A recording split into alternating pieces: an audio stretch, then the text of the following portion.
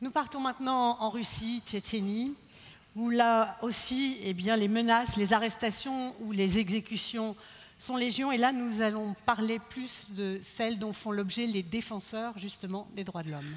Oui, défenseurs des droits de l'homme que le président Ramzan Kadyrov qualifie de marionnettes de l'Occident et à l'encontre desquelles il mène une politique depuis plusieurs années de menaces et de calomnies.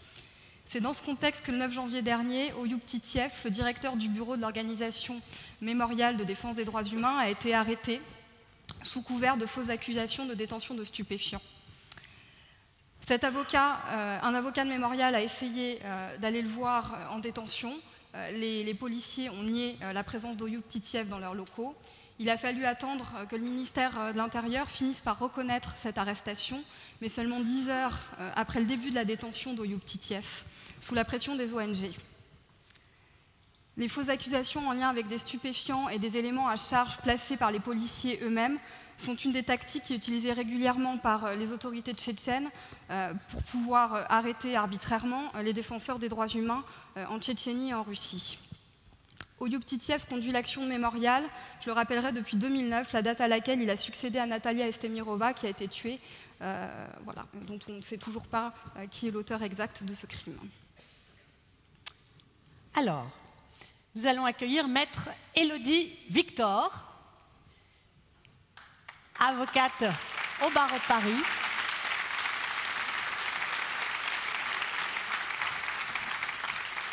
Bonjour maître, je vous en prie. Alors, vous, vous avez effectué plusieurs stages, on va vous présenter rapidement au sein euh, notamment du tribunal international des Khmers rouges au Cambodge mais également à la Cour pénale internationale euh, aux Pays-Bas.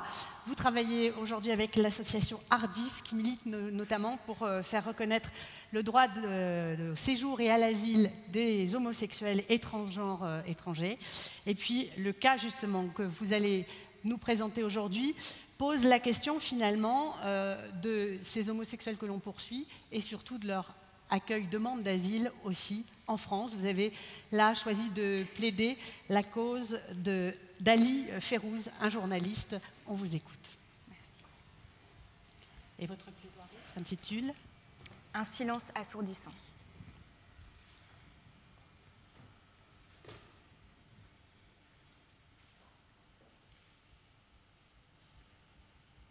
Il nous disait que nous étions des animaux Il voulait m'enterrer sous deux mètres de terre. Ils ont les bras longs, ils peuvent me retrouver. J'aimerais pouvoir vous dire leur nom. J'aimerais pouvoir vous dire leurs âges, leur histoire. Et s'ils sont vivants, vous dire où ils se trouvent aujourd'hui. Mais même lorsqu'ils ont réussi à fuir la région semi-autonome russe de la Tchétchénie, il leur est impossible de révéler leur identité pour des raisons de sécurité. C'est donc la loi du silence. Silence assourdissant et insupportable pour Ali Ferrous. Ali Ferrous est journaliste pour le journal d'enquête indépendant russe Novaya Gazeta. En avril 2017, il a été parmi les premiers à enquêter et publier des rapports sur la purge des personnes LGBT en Tchétchénie. C'est lui qui a porté à la connaissance de la communauté internationale ces voix anonymes, ces visages floutés, ces noms d'emprunt qui ne peuvent témoigner librement quand ils ont eu la chance d'échapper à leur bourreau. Ali Ferrous connaît bien cette peur. Ali Ferrous n'est d'ailleurs qu'un nom de plume. Outre cette peur d'être retrouvé par le régime tchétchène, ces exilés ont en commun la connaissance d'une même réalité atroce. Les autorités tchétchènes mènent une véritable répression à l'encontre des personnes LGBT, avec la ferme intention de les faire disparaître jusqu'au dernier. Trois associations LGBT françaises ont porté plainte en mai 2017 devant la Cour pénale internationale contre le chef tchétchène, Kadyrov, pour génocide des personnes homosexuelles en Tchétchénie.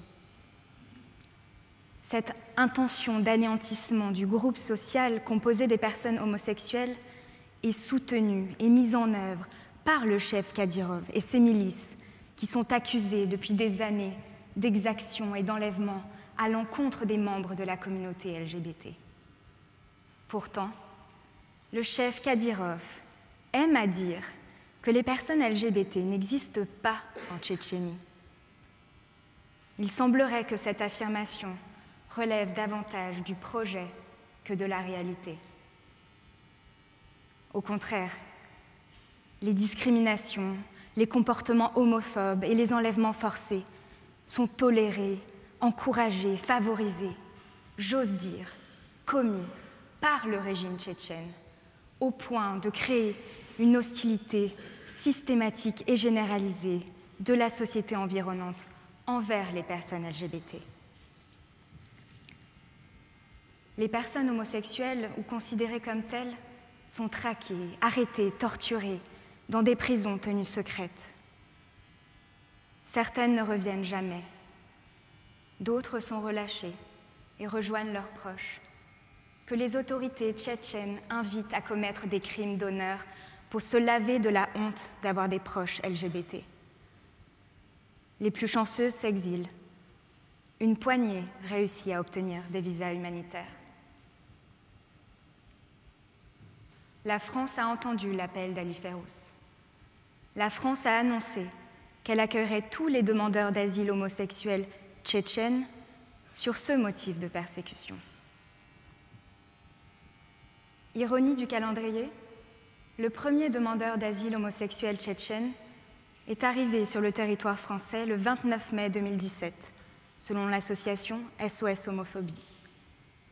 Ce même jour, une visite officielle du président russe, Vladimir Poutine, était organisée à Versailles, sans l'inquiéter particulièrement sur les dénégations du chef Kadyrov, comptant pourtant parmi ses intimes politiques. À ce premier demandeur d'asile se sont succédés bien d'autres, qui tous, après une fuite géographique, se sont heurtés à un périple administratif et juridique qui correspond au dépôt d'une demande d'asile devant l'administration française. La France est signataire de la Déclaration universelle des droits de l'homme, dont l'article 1er énonce que tous les êtres humains naissent libres et égaux en dignité et en droit. Son article 2, quant à lui, affirme que chacun peut se prévaloir de tous les droits et de toutes les libertés proclamées dans la présente déclaration. La lecture combinée de ces deux articles nous enseigne que toute personne, y compris les personnes homosexuelles, peuvent jouir des protections des droits de l'homme sur la base des principes d'égalité et de non-discrimination. En vertu de la Convention sur les réfugiés de 1951, toute personne a le droit de demander l'asile en France en raison de persécutions liées à l'orientation sexuelle ou à l'identité de genre, qui sont des aspects fondamentaux de l'identité humaine. Mais alors comment fait-on pour prouver son orientation sexuelle et ses craintes de persécution sur la base de ce motif en cas de retour dans son pays d'origine? Grâce au courage de journalistes comme Ali Ferrous et à l'onde de choc provoquée dans la communauté internationale par la révélation de purges anti-LGBT en Tchétchénie, il sera plus aisé pour un demandeur d'asile homosexuel tchétchène de démontrer ses craintes, car elles sont largement documentées. A l'inverse, les ONG luttant à travers le monde pour les droits des personnes LGBT se heurtent bien souvent aux attaques contre leurs propres défenseurs qui se voient empêchés de réunir les preuves sur les violations commises. Cette difficulté contribue à la sous-déclaration des incidents dans des pays où les violations à l'encontre des personnes LGBT sont tout aussi inacceptables et courantes, comme en Ouganda, au Nigeria ou encore au Sierra Leone. le 8 février 2017, le Conseil d'État a affirmé que la Cour nationale du droit d'asile, se prononçant lorsque l'Office français de protection des apatrides et réfugiés a rejeté une demande d'asile, ne pouvait pas exiger que le requérant apporte la preuve de son orientation sexuelle. Mais la Cour peut écarter des allégations qu'elle juge insuffisamment étayées. Alors comment fait-on pour étayer suffisamment ces allégations concernant son orientation sexuelle. Faut-il décrire un cheminement intellectuel type? Faut-il avoir caché son homosexualité ou fait preuve de réserve dans l'expression de son orientation sexuelle en vue d'éviter un risque de persécution? Faut-il être en mesure de parler de ses pratiques sexuelles? La Cour nationale du droit d'asile a répondu par la négative à l'ensemble de ces questions. Et vous Comment feriez-vous pour prouver votre orientation sexuelle? Comment s'est-elle construite? En un jour? En une vie? Êtes-vous certain de ce qu'elle est aujourd'hui? Comment avez-vous su que vous aimiez votre partenaire actuel. En avez-vous aimé d'autres? Vous souvenez-vous de la première fois que vous avez éprouvé un sentiment amoureux envers un camarade de classe? Comment avez-vous pu cacher si longtemps une relation adultère sans éveiller les soupçons de votre entourage? Ce sont les questions auxquelles doivent faire face les demandeurs d'asile homosexuels lors de leur entretien avec un officier de protection et éventuellement une seconde fois devant les juges de la Cour nationale du droit d'asile. Les demandeurs d'asile homosexuels doivent donc verbaliser leur homosexualité. Ils sont placés dans une situation inextricable et doivent plonger dans leur intimité subjective pour en tirer des réponses objectives, dans l'espoir de forger l'intime conviction de ceux qui ont à juger de leur cas. Ces questions incisives peuvent être vécues comme une nouvelle violence psychologique après un exil chaotique. C'est pourquoi les questions posées aux demandeurs d'asile doivent être encadrées vers un plus grand respect de leur dignité et de leur vie privée et familiale.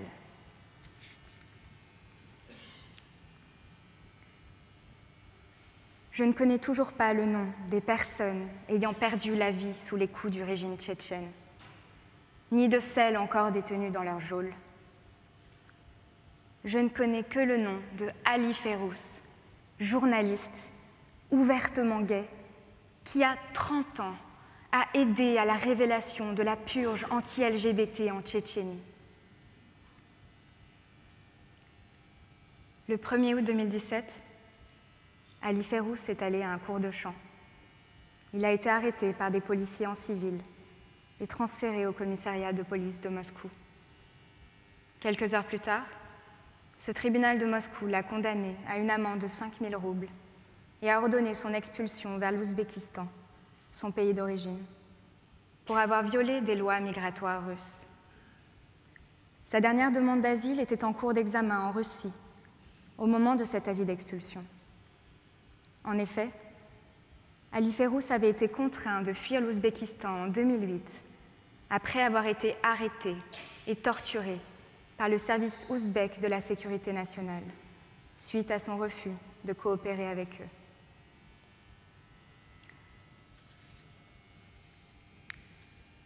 La vie d'Ali Ferrous est plus que jamais en danger.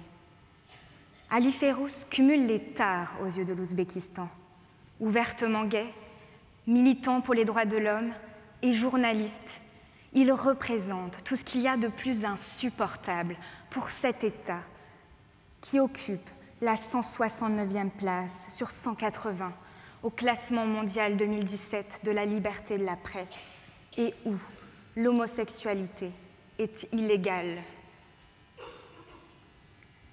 La Cour européenne des droits de l'homme a donné une lueur d'espoir à Ali Ferrous et ses proches en ordonnant, le 4 août 2017, en vertu de l'article 39 de son règlement, le gel de son expulsion vers l'Ouzbékistan, le temps que soit examiné son appel concernant sa demande d'asile. Le 8 août 2017, un tribunal de Moscou s'est plié à cette décision, mais a toutefois statué pour le maintien en rétention de Ali Ferrous. La vie et la liberté de Ali Ferrous ne tiennent qu'à un fil. Il a donné sa voix à tant d'oubliés du régime tchétchène. Alors, c'est avec le plus grand honneur que je lui prête la mienne aujourd'hui.